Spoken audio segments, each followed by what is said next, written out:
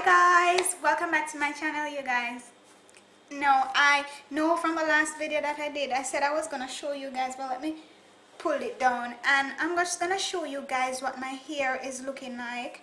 Now that it's twisted out i actually just plait them together. Now i spent like all of last night to finish twisting all of these out.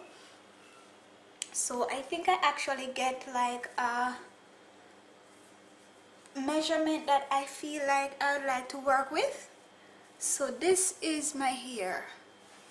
So let me show you guys. This is it. Now I think like the way how it is right now is just right. Anyways you guys this is what I'm gonna be using. And what I'm gonna be doing from here on out is just to continuously twist these hairs together and just keep it just the way how it is. It's a bit well basically I mean I can wear it like this sometimes. So you guys look at the dimensions. So this is it.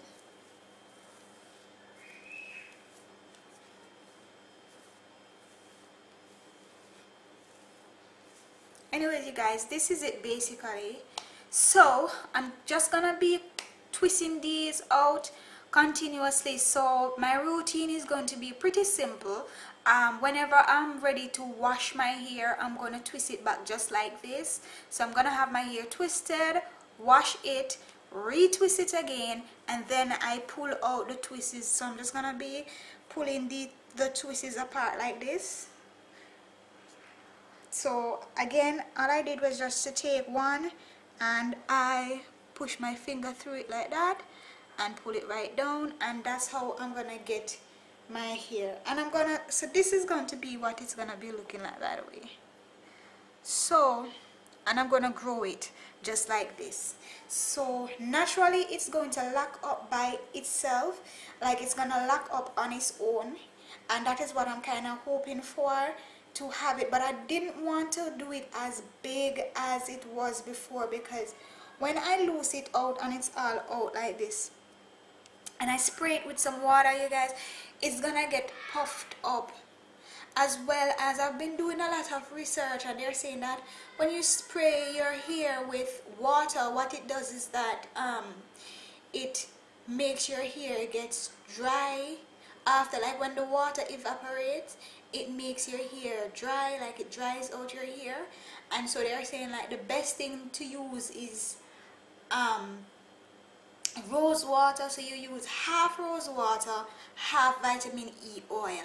So basically whatever container you're going to be using you take half of you fill half of it with rose water and then you fill you put the other half.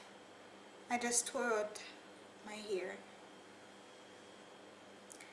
And you put the other half um, with vitamin E oil. Now they're saying that what happens is that the rose water actually holds the moisture um, way better. And then of course the vitamin E oil will not only oil the hair scalp but also help it to be healthier as you all know the benefits from using vitamin E oil anyways you guys I'm just trying to twist out like these because I don't want to as I said it's just last night I spent all night last night retwisting them. So all of the thing that was up here I just twisted out. So this is basically what I have working with. So guys I want you all to follow me on my hair journey um, to grow out my hair to its full length. Um, again, we're starting with 14 inches of hair. I should, okay, so I have the tape measure and I'm just gonna be measuring so you guys can have a look at my hair. Where is it stopping? It's about 14 inches of hair it's twisted at the moment but I'm using um, the back by the way you guys I have to use the back because the back the hair at the end of the um, the hair at the back is way longer. Um, it's some part says 13 some part says 14 it's twisted up keep on getting like 13 and a half. It keeps on stopping at 13 and a half because it's twisted. Anyways you guys um when it's out it's 14 inches however these are the dimensions that I'm gonna be using so you guys stick around. I'll constantly give you guys hair updates. Um, the sun just went so the light in the background just dim. Anyways you guys thank you very much for joining me on my videos you guys. And I'll see you guys on another video. Thank you very much for tuning in. Like subscribe share and I'll see you guys on another video alright bye guys